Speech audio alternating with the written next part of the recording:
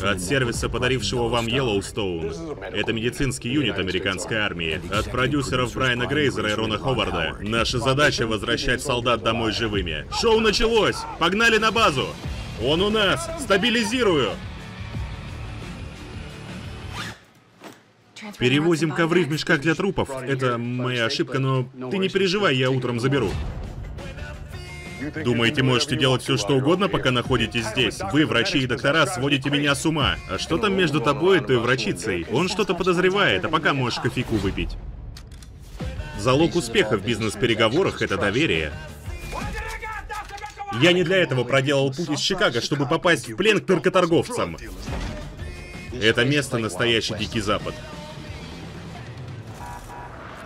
Назовите себя. Рядовой Энтони Петручелли. Казань моя.